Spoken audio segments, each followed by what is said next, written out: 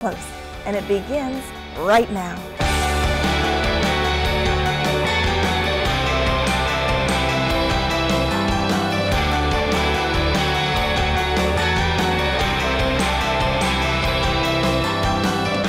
It's our mission to have every child reading on grade level by the end of third grade.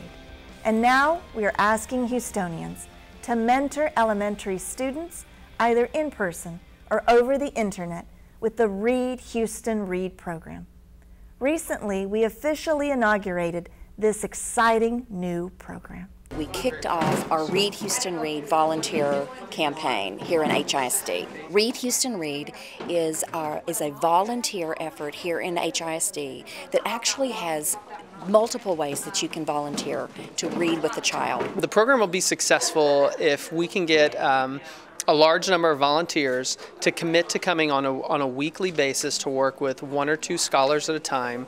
We're looking for about 1,500 uh, Houstonians to volunteer about an hour a week to read with a child. But another exciting component is what we call the virtual volunteer experience. And that is when a professional or someone from their home can sit down and pick up the phone and for 30 minutes using their computer and a computer in the classroom can connect with a child and read a book together. A lot of people can't leave the office and go to visit a school. It takes too much time from their daily routine. So it helps helps more people participate more effectively in intervening in a positive way in the life of a kid. We as a major company in the Houston area would like to be more involved with, not only through financial contributions, but also through our employee time. Our flip kits are also available um, in the Houston Public Libraries, and so we're hoping that as students become more familiar with the flip kits here in their schools, that their families will also uh, utilize these resources in the library um, during their home time. Low literacy rates affects all of us. Ultimately, it affects us through higher crime rates, higher poverty rates, higher dropout rates. We recognize that what we have to do is we have to start early, and we have to be urgent, and we have to do best practices. No more will we allow um, scholars to go on to third grade, not reading on grade level. No more will our scholars go on to middle school and high school, not prepared, not able to read fluently and on level. Joining me now is the Director of Literacy, Cindy Puryear, and Garcia Elementary Principal, Aaron Dominguez.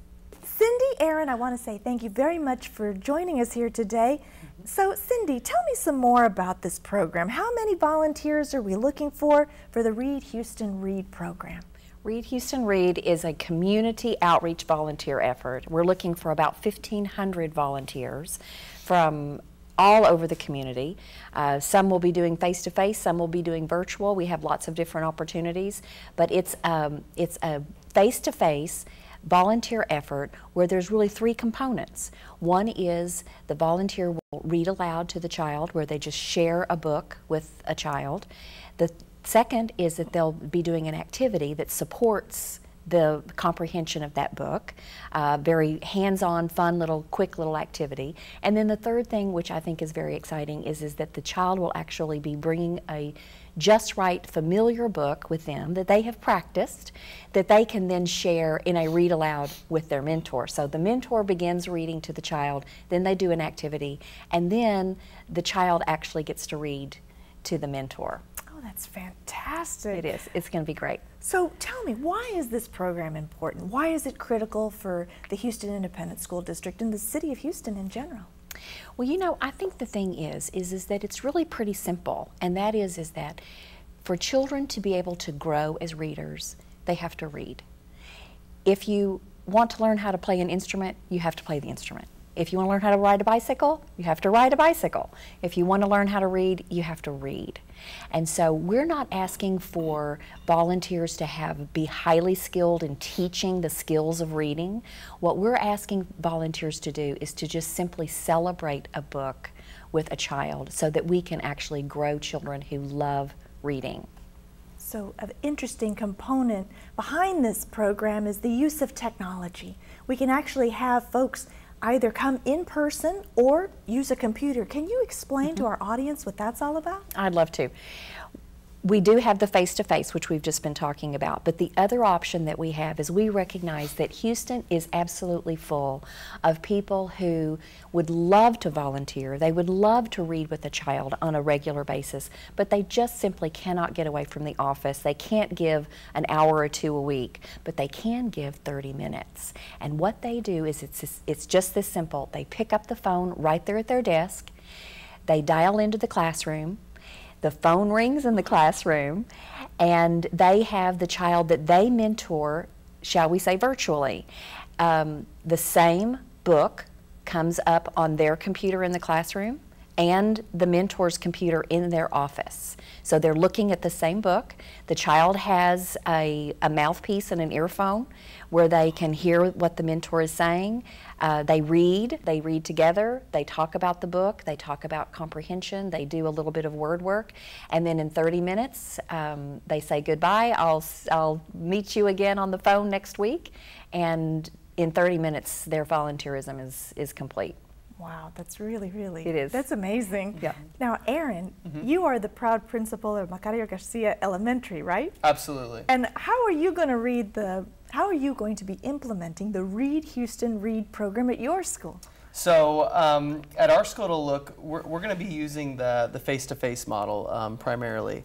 And so what will happen is um, once we get our volunteer set, they'll come in um, into the school, and right there when they come to this come into the school, there's going to be this adorable um, kiosk there, and hanging from the kiosk are going to be um, these bags with everything that the volunteer will need to execute the, the, the interaction with the scholar with excellence.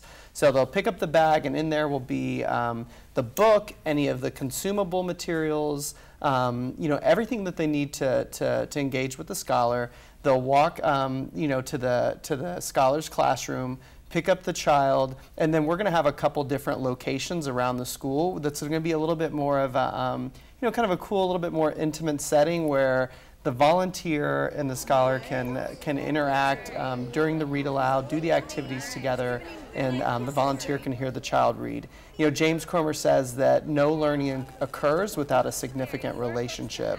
And what's going to be really um, exciting about this initiative that I think is different from others is, is the commitment that we're asking the volunteers to make to not just come once or to drop in once in a while, but that you're committing to coming every single week to work with the same one or two um, child at the same school. That's that creates an environment for an incredible relationship to, a, to, to form and be established. And then once you have that, um, we're really expecting um, our scholars that are in the program to begin to blossom in their literacy um, as they build that relationship and the reading skills. Wow. So it's building a relationship and building community. Absolutely. That's fantastic. So, Cindy, what kind of skills are we looking for in the mentors and what kind of training opportunities are available for them? You really don't need to be a skilled teacher in order to be a mentor. Uh, we are going to provide um, some trainings. We're actually providing face to face training for our volunteers on September the 26th and then again on October 3rd. We'll have three sessions each day for a total of six sessions. Uh, the Neuhaus Education Center is helping us to, um, to train the volunteers on uh, strategies that they can use before, during, and after their read aloud with the child. Um, and then the Children's Museum is going to come and train them on using the kits that Aaron just talked about um, that are totally inclusive of everything that you need. All you have to do is just grab and go and uh, pick up the bag. Um, and so they'll be total, they'll be completely trained on that. Uh, and then we also have an online training that the volunteers can go to if you just need a little refresher. Neuhaus and the Children's Museum have agreed to do some very short little videos on the things that are important for uh, mentors to know. And so you can visit um, the website at readhoustonread.com and to get a little refresher course. So if someone is interested in participating in this particular fantastic program, who should they contact? So there's a website. I believe mm -hmm. it's it's as simple as readhoustonread.com, right? Mm -hmm. um, right? They go to the website and everything they need um, as far as getting information and signing up is, is right there. That's fantastic. Mm -hmm. Now, I know that when I went to the press conference, there were several community partners that were there. Can you share some of the folks that are participating in this program? Well, you know, we absolutely could not do this if it were not for those wonderful people. Uh, first of all, we have the Barbara Bush Houston Literacy Foundation uh, that have been so generous. Uh, Phillips 66 has been um, very, very generous as well. Of course, and I don't want to forget the museum and the mm-hmm. Neuhaus Center, Absolutely. while they are giving of their time and talents and energy. Uh, the Duddleston Foundation has been so generous with, um, with the funding for this. Um, and then also, um, not necessarily just with Read Houston Read, uh, but Target. Target has been so generous in making sure that not just our kindergarten, first, second, and third grade classes have the reading materials for Just Right books, but that also our pre-K have read aloud books because we know that that's what pre-K children need in order to build um, their vocabulary and learn what readers do when they read and how they think when they read.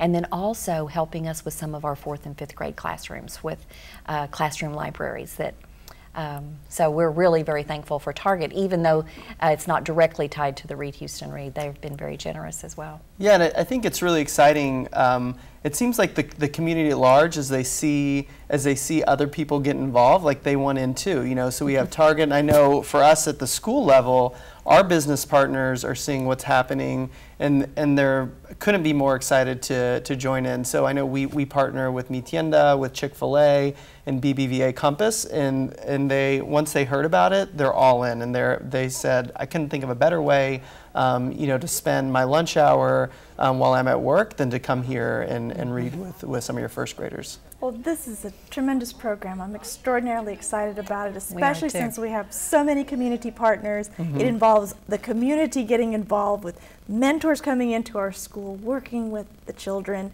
reading as a priority, and just building our community. So That's thank right. you so much absolutely. for your dedication and for all of your hard work. Mm -hmm. Thank you for thank having you. us. Yep, thank you. absolutely. Houston, we need you. We're asking for a half hour once a week to help battle the literacy crisis.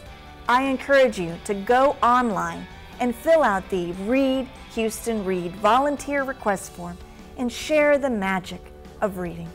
You can make a real difference in a child's life. Stay with us as we introduce you to the founding members of the HISD Student Congress. Next on HISD Up Close.